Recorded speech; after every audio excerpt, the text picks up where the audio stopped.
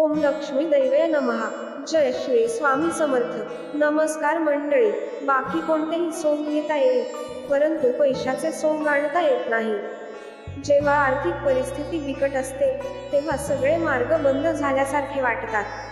हे मार्ग खुले व्हावेत आणि लक्ष्मी मातेची कृपादृष्टी व्हावी. यासाठी सोपे उपाय करून पहा. रोजच्या देवपूजेत शंखाला स्नान घालून त्याची नियमित पूजा करा. कारण शंख हे लक्ष्मीचे आवडते स्थान आहे. लक्ष्मीमातेच्या गळ्यात कवड्यांची माळ आपण सर्वांनी पाहिली असेल. म्हणून देवपूजेत कवड्यांची माळ अथवा कवड्या ठेवून त्यांची पूजा करावी.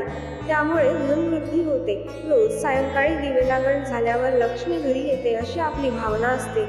म्हणून तिच्या स्वागतासाठी रोज आपले अंगण अथवा दाराचा उंबरठा स्वच्छ करून तो रांगोळी काढून सुशोभित करावा.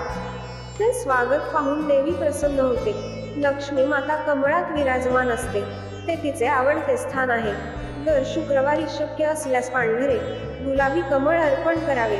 महिन्यातून एकदा एखाद्या शुभतिथीच्या निमित्ताने देवीला केशरी रंगाचा साखर भात किंवा पांढऱ्या रंगाचे मिष्टान अर्पण करावे.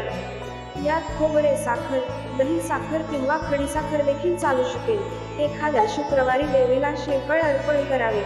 श्रीफळ हे समृद्धीचे द्योतक आहे. तुमच्या दारात प्राजक्ताचे झाड असेल तर उत्तम. देवीला प्राजक्ताची फुले आवडतात. तुमच्या आजूबाजूच्या परिसरात प्राजक्ताचे झाड असेल तर सकाळच्या प्रहरी निवडक फुले वेचून देवीला फुलांनी सुशोभित करावे.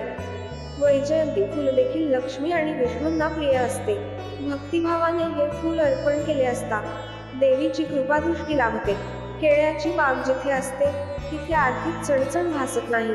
परंतु प्रत्येकाच्या नशिबात हे सुख नसते अशा वेळेस जिथे केळ्याचे झाड असते तिथे सेवा म्हणून पेलाभर पाणी अर्पण करावे. तसेच शक्य असल्यास देवीला केळ्याचा नैवेद्य दाखवून तो प्रसाद सर्वांना वाटावा. ज्या घरात तुळशी वृंदावन किंवा तुळशीचे रोपटे असते आणि रोज सायंकाळी तुळशीपाशी दिवा लावला जातो त्या घरावर लक्ष्मीची कृपादृष्टी सदैव राहते. अस्ताव्यस्त पसरलेले घर आपल्याला आवडत नाही. तर देवीला तरी कसे आवडणार? म्हणून घर कायम स्वच्छ आवरलेले आणि नीटनेटके असावे अशा घरात देवी मुक्त हस्ते आशीर्वाद देते. जी व्यक्ती आपल्या कुटुंबातील तसेच समाजातील सर्व स्त्रियांचा आदर करते त्या व्यक्तीवर देवीचा विशेष वरदहस्त असतो.